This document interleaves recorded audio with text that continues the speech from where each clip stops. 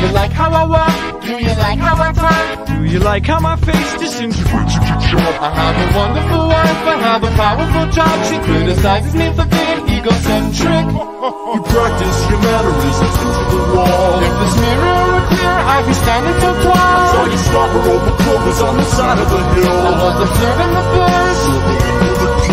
I've been you, I know you, your facade is a scam. You know you're making me cry, this is the way that I am. I've been living a scheme. Detective undercover brotherhood objective obscene.